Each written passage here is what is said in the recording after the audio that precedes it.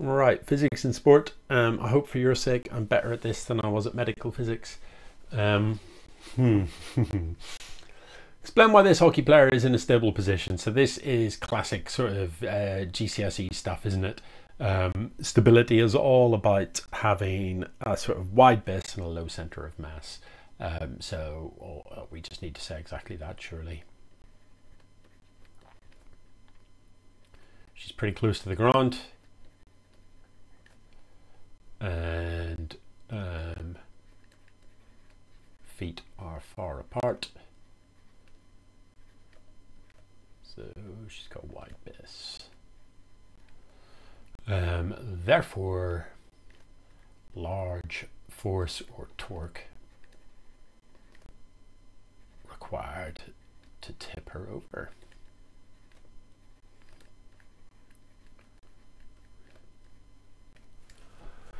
Um, yeah. Coefficient of restitution between a hockey ball and three different types of sticks are given in a table. Andrea is going to use stick C to enable uh, the ball to get higher speeds, evaluate whether she is correct in her choice of hockey stick, two marks. So uh, you sort of feel like one of these marks is just going to be for a definition of coefficient of restitution. So let's go ahead. Um, it's quite a lot to write, isn't it? Coefficient of restitution. And it's defined as sort of speed of separation divided by speed of approach, isn't it?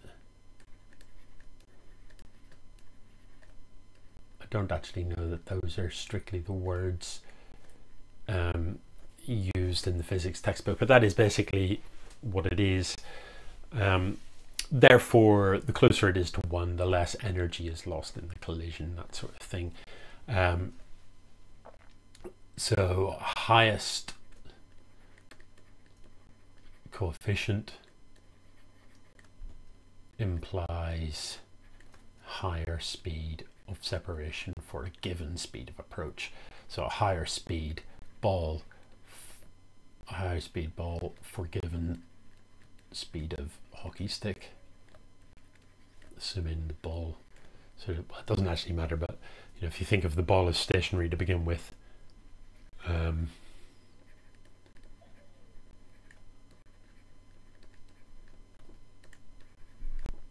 so yeah Andrea is indeed correct. We'll give her a faster ball. Okay uh, the remaining questions are about the hockey ball mass given, diameter given. Determine the torque that a player must apply for the ball to reach a spin rate of 752 revolutions per minute. Look, per minute, be careful. Um, in a time of that, the moment of inertia of a hockey ball is that. So we're finding torque. Um, yeah, let's just make sure I've got the right equations um, on here. So torque is moment of inertia times um, angular acceleration. And angular acceleration is change in omega uh, delta omega over delta t. Uh, so that's all fine. We need to turn 752 revolutions per minute into um, into an angular velocity. So omega is going to be equal to 752 divided by 60 is going to give me the frequency multiplied by 2 pi. That many radians per second is what we need. Um, and I the moment of inertia. Actually, let's calculate that first um, before we go on to the next thing. So 752 over 60 times 2 pi, 78.7. And I, the moment of inertia, 2 fifths times mass be careful, that's in grams. Times radius squared and look diameter is given in millimeters. So again, just careful with that. Oh, I've times 10 minus 3 squared. So bung all of that together to get some sort of answer. Um, so 2 fifths 0.4 times 0.163 times 71.3 minus 3 over 2. Don't forget to square it. I've got it 0.29 times 10 to the minus 5.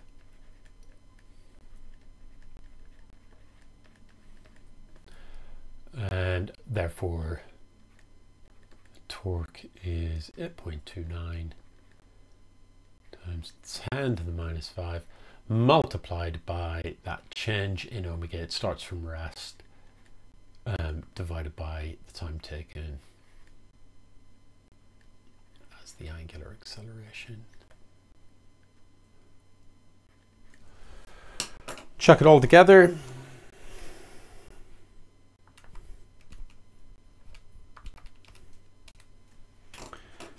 And I've got a torque of 3.1 times 10 to the minus 2.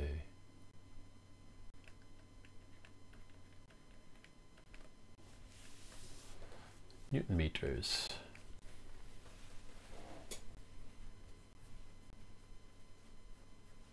Yeah.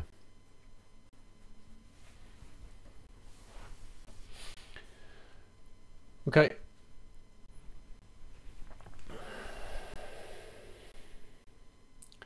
Determine the linear and rotational kinetic energies acquired by the ball if it also moves with a linear speed of 42 meters per second. So rotational energy given by a half I omega squared and that is just equal to, we've already calculated I from previously, 8.29 times 10 to the minus 5 um, and omega we've calculated previously as well, 78.7 squared.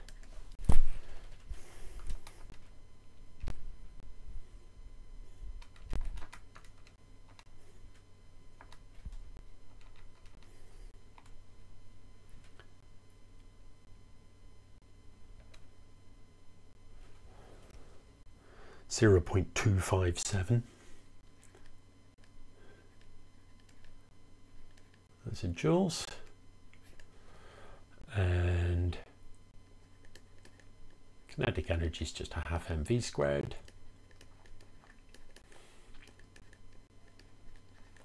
Um,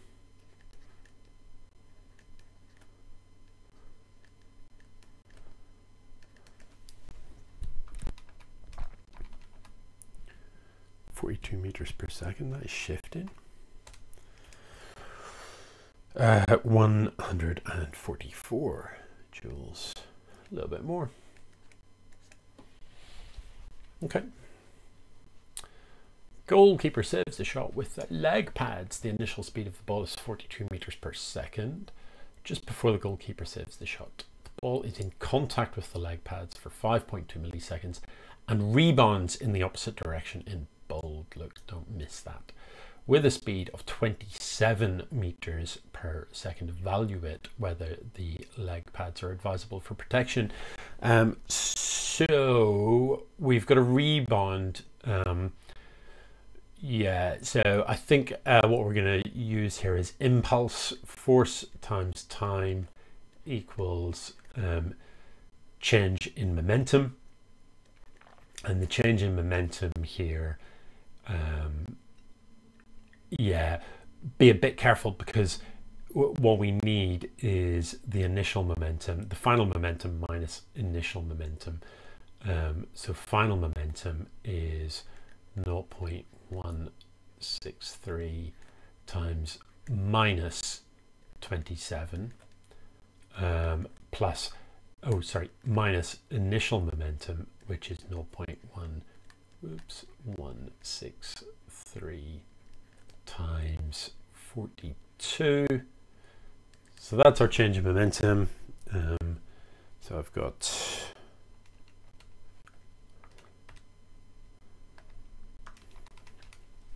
change of momentum of minus 12.1.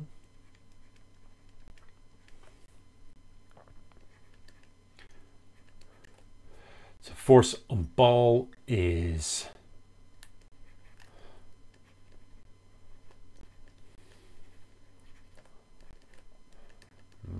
minus 12.1 over 5.2 milliseconds. It's going to be quite large.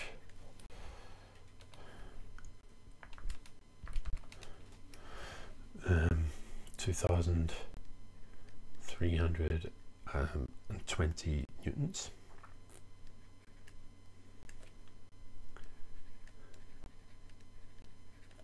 So equal and opposite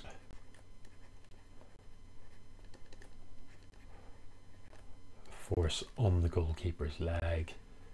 Uh, I would suggest pads are indeed um, advisable.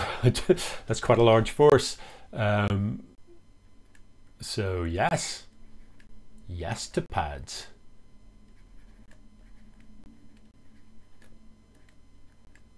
Uh, I, yeah, I don't think you need to, to go further and talk about the pads spreading that force over a larger area. Um, I think, do we need to go? Ball is in contact with the leg pad. So this is already, that's the size of the force if it hits leg pads. Um, do we need to mention, I wonder, that without the pads, it would potentially be in contact for less time um, and therefore an, an even larger force? I'm not sure. Yes, the pads. Uh, I'm going to say it anyway, just, just to make sure. Thought pads, contact time may be shorter and force larger.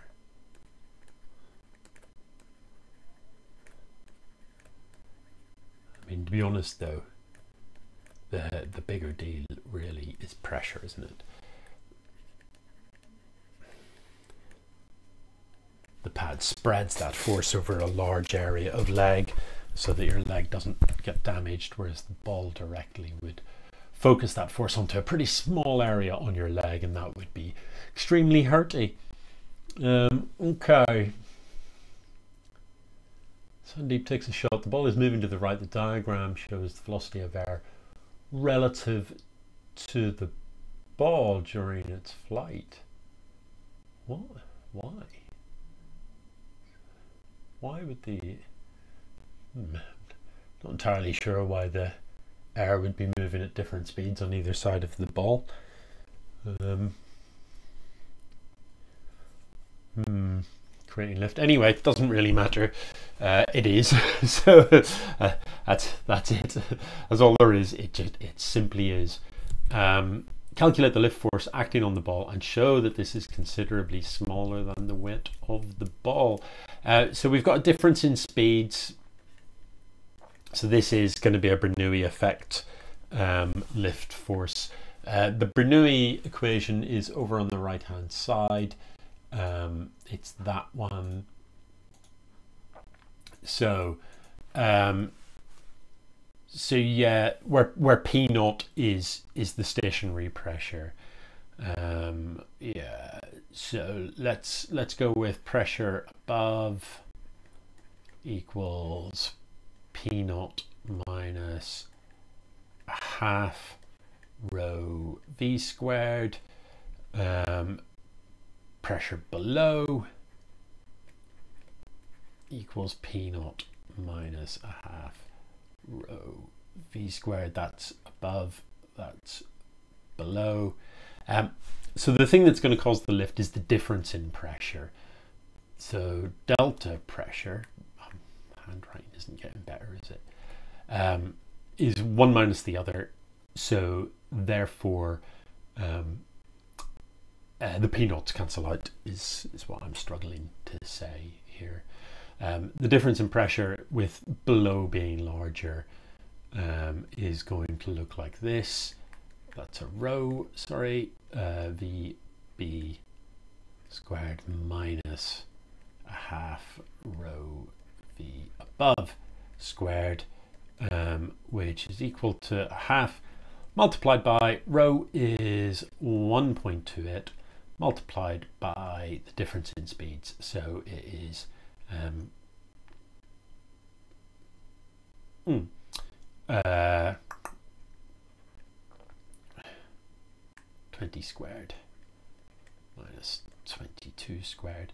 The way around I've done it, I'm going to get like a, a negative. It's fine though. It doesn't really matter. I'm, I'm going to get a negative answer, but I think that's okay. Um, it's just about the direction, really, isn't it?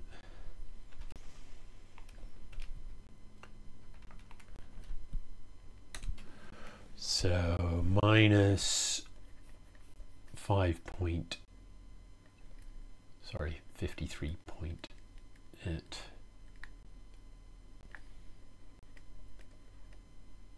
Pascals. Um, therefore, the force, which will be upwards, is pressure times area. And it's going to be this cross-sectional area for the ball. Um, times, uh, what's the radius of the ball? Radius of ball diameter 71.3 millimeters so pi r squared.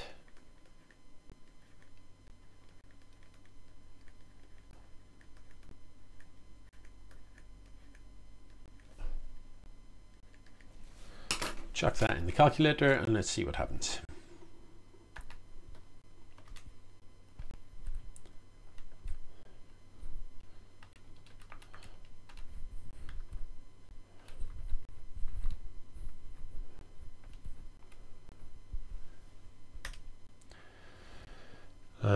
Uh, 0.215 newtons.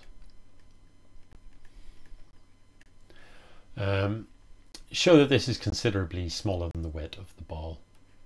Wet equals um, G equals 0.163 times 9.81.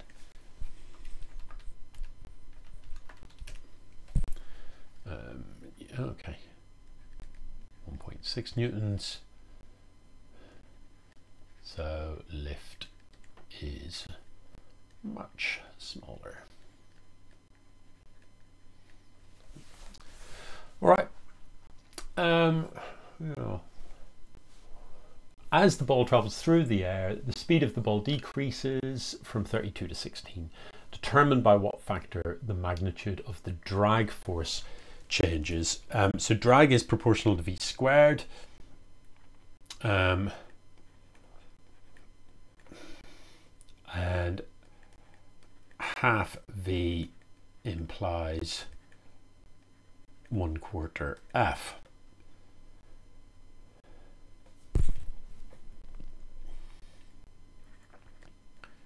So drag is one quarter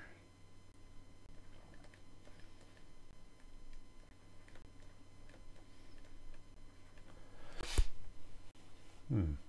Seems like an awfully easy two marks. Maybe I have to actually quote the equation. Wouldn't, yeah, I mean, I, I I'm going to put it in just in case, but I think uh, I think saying proportional is probably okay. Um, I'm going to say rho A CD all constant. So F proportional to V squared. Just to make sure I get my marks. That's it.